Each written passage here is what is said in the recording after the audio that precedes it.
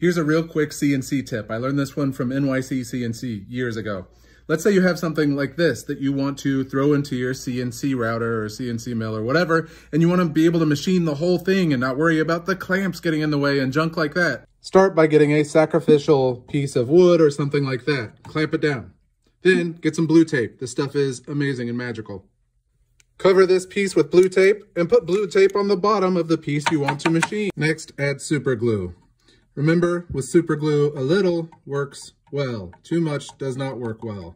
But you want it spread out all over to hold your piece solid even after you start to cut. Place your piece on the super glue and let it dry.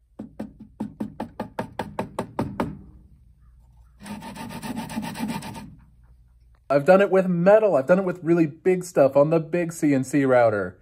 It's surprising, but it works. Go to makezine.com and subscribe to Make Magazine.